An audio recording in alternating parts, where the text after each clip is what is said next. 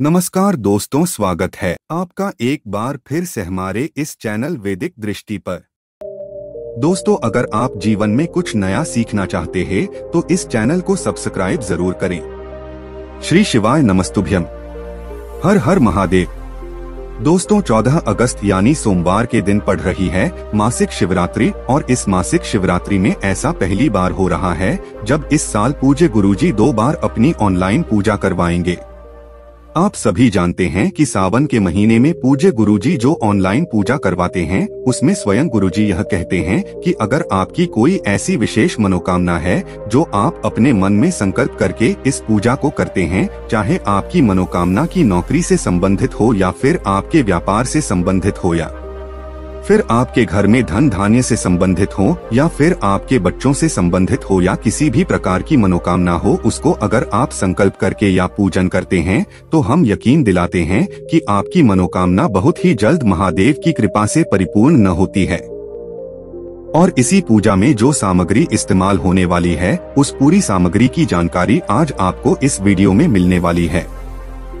ऐसा पहली बार मौका मिला है जब आपको इस सावन और अधिक मास में पड़ने वाली यह विशेष तिथि मिल रही है। और वह भी सोमवार के दिन, इसलिए आपको पूज्य गुरु जी द्वारा कराए जाने वाली यहाँ ऑनलाइन पूजा किसी भी हालत में छोड़नी नहीं है। आपको लगभग 10 दिनों पहले पूजन की सारी सामग्री बता दी जा रही है, ताकि आप आसानी से और बहुत ही सुलभता से यह सारी सामग्री एकत्रित कर सकें। गुरु जी ने स्वयं कहा है कि हमने कई ऐसे पत्रों में देखा है, जिसमें लोग कहते हैं कि ऑनलाइन पूजा करने के बाद सिर्फ़ कुछ ही हफ्तों में या कुछ ही महीनों में महादेव ने उनकी सारी मनोकामनाओं को परिपूर्ण कर दिया है। तो चलिए जानते हैं इस विशेष ऑनलाइन पूजा में इस्तेमाल होने वाली पूजन सामग्री के बारे में। लेकिन उससे पहले अगर आप भोलेनाथ जी को सच्चे दिल से मानते हो तो इस वीडियो को लाइक करें। और चैनल को सब्सक्राइब करके कमेंट में हर हर महादेव ज़रूर लिखें। देखिए इसमें जितनी भी सामग्री इस्तेमाल होगी, वहाँ हम आपको वीडियो में सामने स्क्रीन पर दिखाते रहेंगे, जिससे आपको कोई भी सामग्री पहचानने में कठिनता न हो, लेकिन सबसे पहले आपको लेना है बेलपत्र। आप सभी जानते हैं कि महादेव शिव को बेलपत्र बहुत ही ज़्यादा प्रिय होती है, इसलिए आपको गिनकर 21 बेलपत्र ले लेनी है। और साथ ही साथ दो, चार या पाँच बेलपत्र अलग से रख लेनी है। क्योंकि इससे पहले जो अभी पंद्रह दिन या महीने भर पहले जी ने पूजन कराया है, उसमें गुरुजी बीच बीच में एक या दो बेलपत्र और भी कई कई स्थान में समर्पित करने के लिए कह रहे थे। तो आप 21 बेलपत्र अलग लेंगे और साथ में पाँच या चार बेलपत्र अलग से रख लेंगे। फिर इसके बाद आपको लेना है, जर्नी देखिए प्रत्येक पूजा के लिए एक बहुत ही विशेष सामग्री की ज़रूरत होती है, जो होती है, जनेऊ इसलिए आपको दो जन्म ले लेने हैं। फिर इसके बाद आपको लेनी है, पान के पत्ते, पान के आपको पाँच पत्ते लेने हैं, लेकिन आप ध्यान रखेंगे कि जो भी आप पाँच लेंगे, वह पूजा वाले पान होने चाहिए। आप जानते हैं कि पान खाने में भी इस्तेमाल किया जाता है और पाँच पूजा की सामग्री के रूप में भी इस्तेमाल किया जाता है तो आप पूजा ने जो पानी इस्तेमाल होता है, वही पान ले लेंगे। आप किसी भी दुकान में जाएँगे और उनसे बोले कि आपको पूजन सामग्री के लिए पाँच पान के पत्ते चाहिए तो आपको पाँच पान के पत्ते पूजन सामग्री वाली दे देंगे। फिर इसी के साथ आपको ले लेनी है, सुपारी देखिए, सुपारी आपको पाँच लेनी है। पाँच पान के पत्ते भी लेनी है, आपको और पाँच सुपारी भी आपको ले ली है। लेकिन सुपारी लेते समय भी आप उनसे बोल देंगे कि आपको पूजा वाली ही सुपारी चाहिए। फिर इसके बाद आपको लेना है घी का दीपक, आप सिर्फ़ और सिर्फ़ शुद्ध देसी गाय के घी का दीपक लेंगे। दीपक आप चाहे तो मिट्टी का भी ले सकते हैं, या फिर अपने घर पर आता मारकर उसका दीपक प्रज्वलित कर सकते हैं। लेकिन इस दीपक में आप जो भी का इस्तेमाल करेंगे, वो भी आपका शुद्ध देसी गाय का ही होना चाहिए। और इसमें आप गोल्ड रुई की बत्ती का भी प्रयोग कर सकते हैं। फिर इसी के साथ आपको लेना है धूप बत्ती। धूप बत्ती आप सभी जानते हैं कि पाँच रुपया दस रुपए की पैकेट आपको आसानी से मिल जाएगी तो आप एक पैकेट धूप बत्ती ले लीजिए। फिर इसके बाद आपको लेना है एक पानी वाला नारियल। पानी वाला नारियल जो हम लोग अक्सर नवरात्र में माता रानी को समर्पित करते हैं, वह पानी वाला नारियल होता है, और इसी नारियल का हम लोगों को उपयोग करना है। आपको सूखा वाला नारियल बिल्कुल भी नहीं लेना है। बहुत से ऐसे लोग होते हैं जो कंफ्यूज हो जाते हैं तो आपको पानी वाला नारियल लेना है। फिर इसके बाद आपको लेनी है कपूर के छोटे टुकड़े देखिए, जब आप आरती करेंगे सबसे आखिर में तो आपको थोड़ी से कपूर के टुकड़ों की ज़रूरत पड़ेगी। इसलिए आप कपूर के थोड़े से टुकड़े ले लेंगे। फिर इसके बाद आपको लेना है चंदन महादेव को सबसे प्रिय सामग्री के रूप में कुछ ही चीज़ें बहुत ही प्रिय होती हैं, जिनमें से एक होता है चंदन चंदन आप चाहे तो पीला ले लें या फिर लाल ले लें या फिर सफ़ेद ले ली आपके पास जो भी चंदन उपलब्ध हो जाता है आप उस चंदन को ले सकते हैं।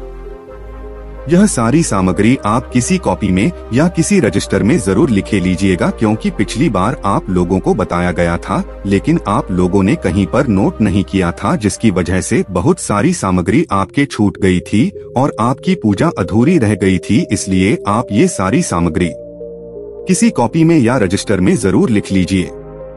अब देखिए इसके बाद आपको लेना है इत्र। आपको परफ्यूम नहीं लेना है, बल्कि इत्र लेना है। इत्र आपको किसी भी शिवालय के आसपास जो दुकानें होती हैं, जो पूजन सामग्री वाली दुकानें होती है उनमें आपको पाँच रूपए या दस रूपए या बीस रूपए की छोटी सी बोतल मिल जाएगी। फिर इसके बाद आपको लेना है मेहंदी। आप मेहंदी की पत्तियाँ ले लेनी है लेकिन दुकान वाली जो मेहंदी होती है उसमें केमिकल मिला होता है और पूजे गुरु जी हमेशा कहते हैं कि हमें शिवलिंग में कोई भी केमिकल वाली सामग्री समर्पित नहीं करना चाहिए। गुरु जी कहते हैं, अगर आपके पास शुद्ध सामग्री है तो आप कोशिश किया करिए कि केमिकल वाली सामग्री शिवलिंग में समर्पित न करें। देखें मेहंदी की पत्तियाँ आप इस्तेमाल कर सकते हैं। अगर आपको मेहंदी की पत्तियाँ नहीं मिल पाती है तो फिर आप जहाँ से फूल लेते हैं, या फिर जहाँ से आप बेलपत्र या शमी पत्र लेते हैं, उन भैया से या फिर उस दुकान वाले से अगर आप बोल देंगे तो वह आपको मेहंदी की पत्तियाँ लाकर ज़रूर दे देंगे। इसीलिए आपको यह वीडियो कई दिनों पहले बता दिया जा रहा है, ताकि आप ये सारी सामग्री पहले से ही इकट्ठा कर लें और आपको इस बार पूजा करने में कोई भी विभिन्न न कोई भी रुकावट न हो, फिर इसके बाद आपको लेनी है एक आचमनी। देखे, पिछली पूजा में पूज्य गुरुजी ने आचमनी का बार बार इस्तेमाल किया था, इसलिए आपको आचमनी ले लेनी है। यह आपको 10-20 रुपए या 25 रुपए में आसानी से किसी भी पूजन सामग्री वाली दुकान में मिल जाएगी। यह आप ज़रूर से ज़रूर ले लीजिएगा क्योंकि इसका पूजा में बहुत ही इस्तेमाल होता है।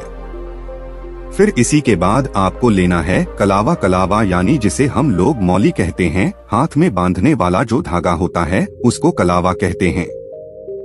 आपको एक कलावा ले लेना है, फिर इसके बाद आपको लेना है शमी पत्र शमी पत्र महादेव को प्रिय सामग्री में से एक बहुत ही प्रिय सामग्री होती है। शमी पत्र आपको कम से कम 11 शमी पत्र ले लेने हैं। फिर इसी के साथ महादेव को एक बहुत ही सुंदर और प्रिय सामग्री होती है, धतूरा तो आपको कम से कम दो धतूरे लेने हैं, या फिर एक एक्स्ट्रा भी आप ले सकते हैं, तीन धतूरे भी आप ले सकते हैं।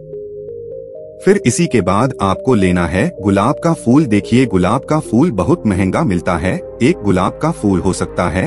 आपके आसपास कहीं दस रुपए का मिल रहा है, या फिर कहीं बीस रुपए का मिल रहा हो तो अगर आप गुलाब के फूल पाँच, सात या ग्यारह नहीं ले पाते हैं तो फिर आप एक या दो गुलाब के फूल ले लीजिए, और उनसे गुलाब की पंखुड़ियों को निकाल लीजिए।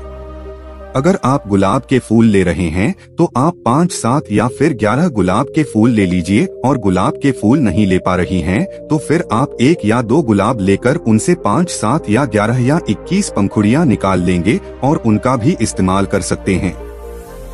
इसके बाद आपको लेना है सफ़ेद पोष सफ़ेद पोष यानी सफ़ेद फूल। महादेव को सफ़ेद रंग की सामग्री बहुत ही प्रिय होती है इसलिए आप कोशिश करिए कि आपको ज़्यादा से ज़्यादा जितने भी सफ़ेद रंग के पुष्प मिल जाए तो आप उतने ले लीजिएगा।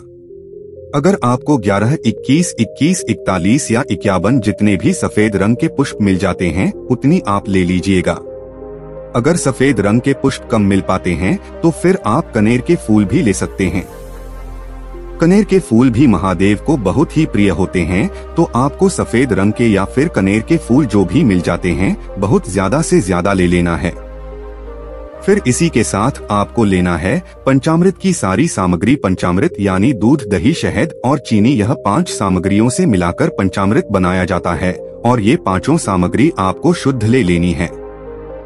आप दूध जो लेंगे वह गाय का ही लेंगे, और भी जो लेंगे वह भी कोशिश करेंगे कि गाय का ही ले लें। देखिए गुरुजी ने हमेशा कहा है कि केमिकल वाली सामग्री हमें शिवलिंग में समर्पित नहीं करना चाहिए, इसलिए आप पहले कोशिश करेंगे कि अगर गाय का यह सब मिल जाता है तो ये सारी सामग्री गाय की ले लेनी है। अगर आपको शुद्ध दूध और घी नहीं मिल पाता है तो फिर आपके पास एक ही विकल्प है, आपके लिए पैकेट वाली सामग्री का पूरे भाव से महादेव में निवेदन करते हुए का इस्तेमाल कर सकते हैं।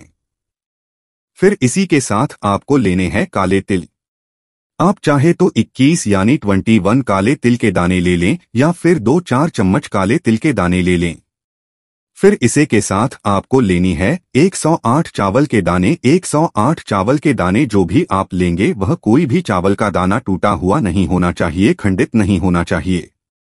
और इन चावल के दानों के साथ कुछ चावल के दाने आप और भी ले लीजिएगा क्योंकि बार बार गुरु जी हमेशा जब आचमनी से आचमन करवाते हैं तो उसके बाद कुछ अक्षत कुछ पुष्प अपने हाथ में रखने के लिए ज़रूर कहते हैं, इसलिए आप थोड़े से चावल और रख लीजिएगा।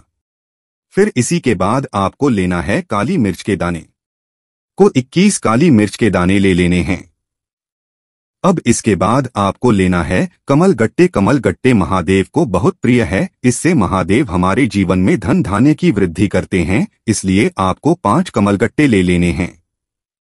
कमल गट्टे के बाद आपको लेना है गेहूँ के दाने। गेहूँ के आप 21 दाने ले लेंगे, यानी 21 गेहूँ के दाने ले लेंगे।